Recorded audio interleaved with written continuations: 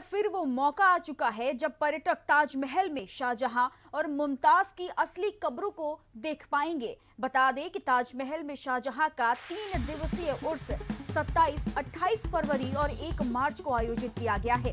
भारतीय पुरातत्व सर्वेक्षण ने शाहजहां उर्स के दौरान तीनों दिन ताजमहल में फ्री एंट्री का आदेश जारी किया है। तो वहीं अधीक्षण पुरातत्वविद डॉक्टर राजकुमार पटेल के मुताबिक शाहजहां उर्स के पहले दिन 27 फरवरी, रविवार को दोपहर दो बजे से शाम तक पर्यटक फ्री में ताजमहल का दीदार कर पाएँगे।